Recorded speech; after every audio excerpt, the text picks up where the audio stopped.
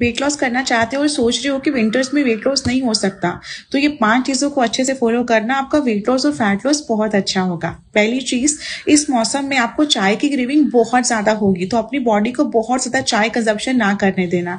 जिसका मतलब यह है कि अगर आप चाय बहुत ज़्यादा लेते हो कैफिन बहुत ज़्यादा लेते हो तो आपकी बॉडी डिहाइड्रेट होती है तो वो चीज़ हमें नहीं करनी है। नंबर टू इस सीज़न में लोग पानी पीना कम कर देते हैं या बिल्कुल बंद भी कर देते हैं, बहुत कम पानी पीते हैं। आपकी बॉडी को पानी की बहुत ज़रूरत होती है तो अपनी बॉडी को हाइड्रेट रखे प्यास लगे या लगे थोड़ा थोड़ा टाइम पे सिप सिप करके पानी को पीते जाएँ।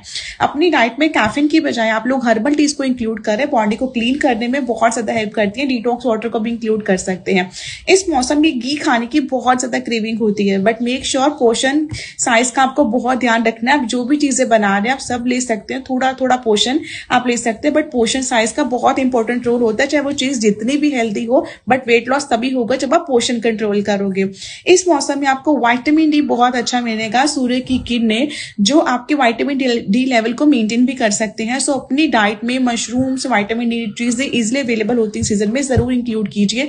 और सुबह की सूर्य की किरणें ज़रूर लीजिए, उसमें योग उसमें आप लोग वॉक कर सकते हैं योगा कर सकते हैं तो आपको बहुत ज़्यादा बेनिफिट मिलेगा। ये सारी चीज़ों को फॉलो करना, अच्छी डाइट को फॉलो करना डेली वॉक करना आपको बहुत अच्छे रिज़ल्ट मिलेंगे।